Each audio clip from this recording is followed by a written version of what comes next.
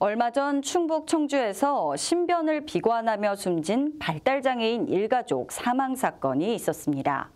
기초생활 수급자로 지정되면서 정부에서 실시하는 복지 사각지대 발굴조사 대상자에는 누락되었던 것으로 드러난 바 있는데요. 사회적 고립 속 위기에 놓인 발달장애인 가족에 대한 실태 전수조사가 이루어져야 한다는 목소리가 커지고 있습니다. 지난달 30일 더불어민주당 서미화 의원실에 따르면 2022년 11월부터 지난 3월까지 8차례 시행한 복지 사각지대 발굴조사 대상자에서 발달장애인은 총 12,087명이었습니다. 이는 지난해 기준 등록된 발달장애인이 약 27만 명인 것을 고려했을 때 조사 대상자로 선정된 발달장애인은 약 4.4%에 불과합니다.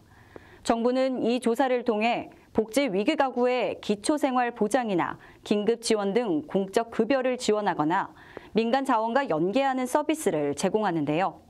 전국장애인 부모연대는 언론에 보도된 것으로 확인한 발달장애인 가정 내 사망은 2022년부터 올해 5월까지 23건에 달한다며 발달장애인을 보호하는 정책과 지원 체계가 부족한 만큼 발달장애인 생활 실태 전수조사가 필요하다고 전했습니다.